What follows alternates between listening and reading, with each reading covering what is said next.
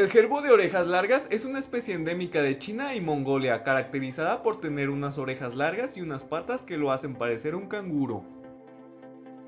Su cuerpo pequeño y abombado mide apenas entre 7 y 9 centímetros de largo.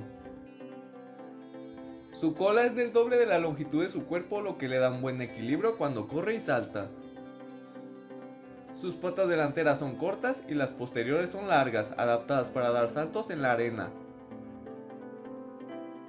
Las plantas de sus pies están cubiertas de pelos rígidos que ayudan a viajar por el desierto.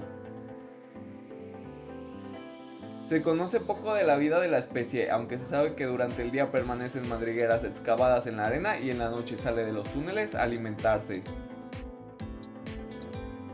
La longevidad promedio de este animal es de 3 años. Son principalmente de hábitos nocturnos y solitarios. Pasan el día en las madrigueras subterráneas que han excavado. Es insectívora y se alimenta de insectos voladores.